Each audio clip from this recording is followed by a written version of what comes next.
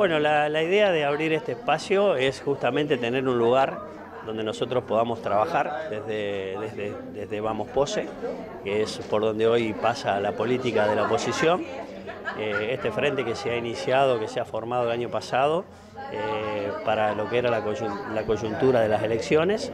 Pero bueno, hoy este, ese grupo se ha consolidado, está firme, hemos seguido trabajando, estamos trabajando dentro del Consejo Deliberante con los tres concejales titulares, más este, el tribuno de cuenta. Eh, nos reunimos periódicamente a trabajar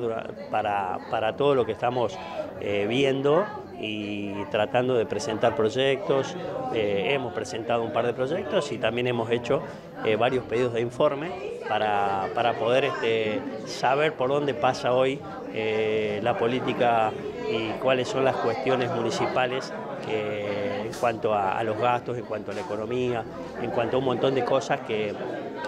vemos que en el pueblo están mal, que hay que, hay que ordenarlas. también va a ser un espacio donde la gente va a tener la posibilidad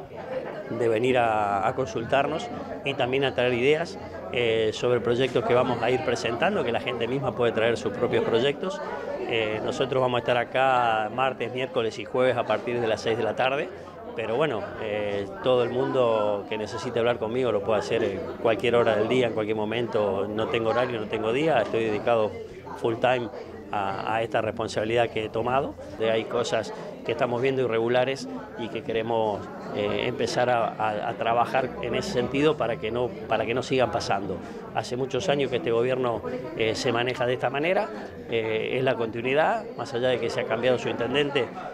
sigue la continuidad de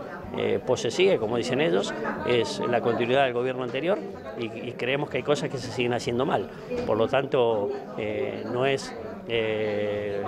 más que una crítica constructiva, lo que nosotros hacemos, presentar proyectos y cosas para el beneficio eh, de todos los ciudadanos. Necesitamos saber en qué se gasta el dinero, eh, cuáles son las órdenes de pago que nos muestran, por qué no las muestran, porque si nosotros pensamos y vemos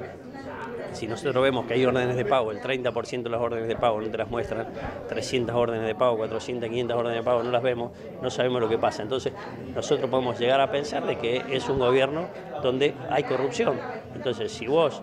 eh, tenés para no tenés eh, ningún problema de, corrupción, no tenés ningún problema de nada, ¿por qué no presentar las cosas? Acá tenemos dos ejemplos que yo puse hoy en la, reunión con, con los vecinos que han venido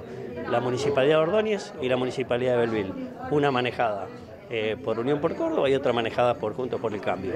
Y tanto los tribunos de cuentas de una o de otra municipalidad eh, le muestran todo a los opositores sin ningún problema, pueden sacar fotos, pueden ver toda la documentación que haga falta. Eh, a nuestra tribuna de cuentas no le dejan sacar fotos, no le dejan ver la documentación, le niegan un montón de este, de, elementos y así no se puede trabajar, porque así no sabemos nosotros lo que pasa. Nosotros presentamos hoy justamente un proyecto de ordenanza que esperemos se trate en la próxima sesión. Hace del 5 de abril que no tenemos sesiones, habíamos presentado un proyecto anterior también, varios pedidos de informe que le hicimos al intendente y al presidente del Consejo Deliberante y lo que nosotros queremos es eh, una respuesta y aparte el diálogo.